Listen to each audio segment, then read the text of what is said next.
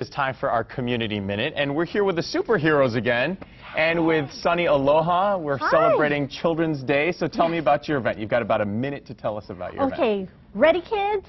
Yeah. Hi, and aloha to everyone. We would like to invite all of you to our Children and Youth Day. We are celebrating our 20th year.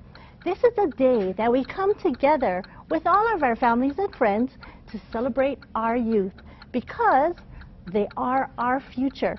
So at 11:45, come to main stage as we stand up for our children and dedicate our Honor Our Children youth theme song with Taylor Wily and Vince Manuvai.